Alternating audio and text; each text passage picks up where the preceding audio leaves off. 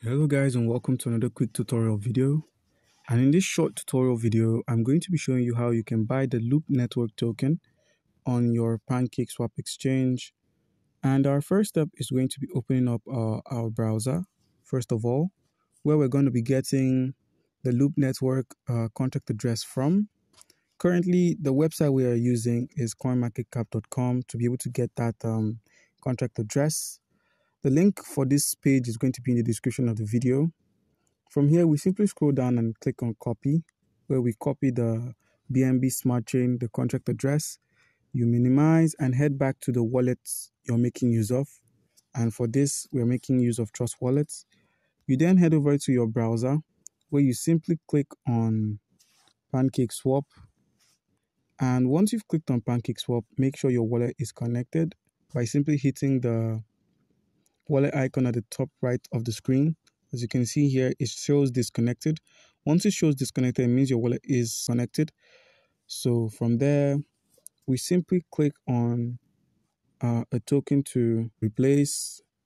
Uh, we're going to be clicking on vote inu. We're going to be pasting the wallet address or the contract address we just copied which belongs to the loop network. So you click on import, click on I understand, and click on import again. And now we're going to be swapping 25% of our cake to loop network.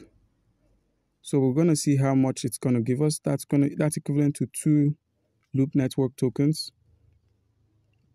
And as you can see here, this token is on medium risk.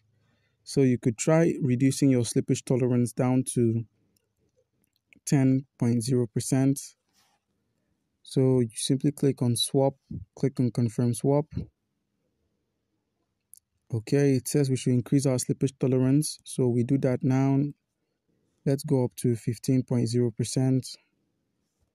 Click on swap again, click on confirm swap and a smart contract call is going to pull up for about 0.55 BNB being the network fee for this transfer. You click on approve and boom, add loop to your wallet and you click on close, close your pancake swap, head over to your menu, your tokens menu, where you simply reload, simply scroll down and boom, the loop token is then showed on your wallet. Alright guys, comment down below if you have any questions concerning how you can buy the loop network token and you'll be given an answer. Thank you.